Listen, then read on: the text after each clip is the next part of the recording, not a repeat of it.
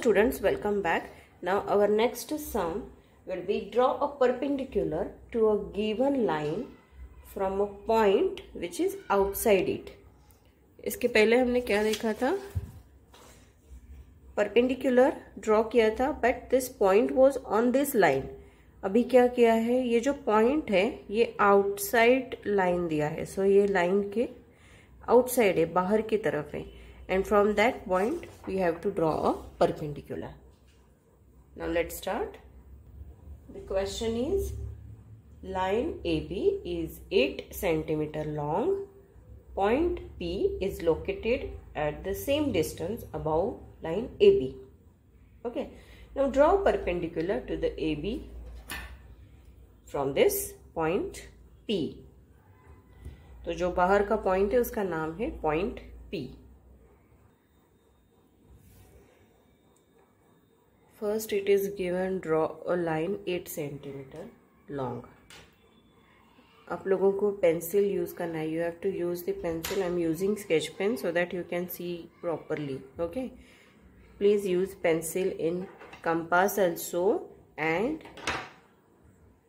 rest of the work also now the line is 8 centimeter so 0 to 8 leaves leave some distance downside also because we require this space.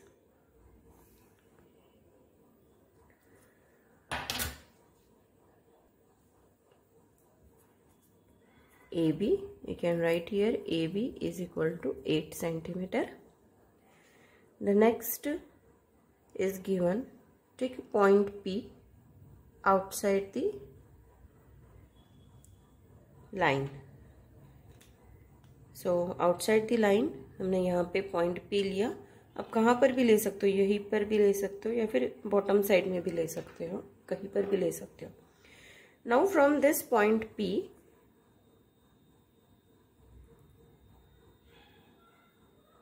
I will mark two arcs on this line and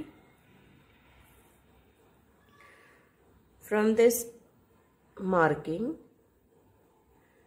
I will draw two arc on the bottom side of the line.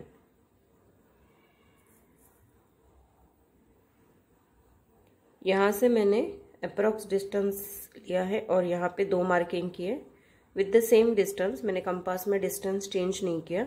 And from this point ये point ले रहा है, ना कि A B का point okay from this point मैंने ये दो आर्क यहाँ पे ड्रॉ किए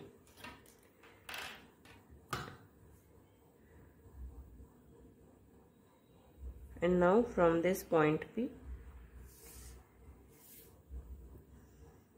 I will draw one line. We'll give a name Q.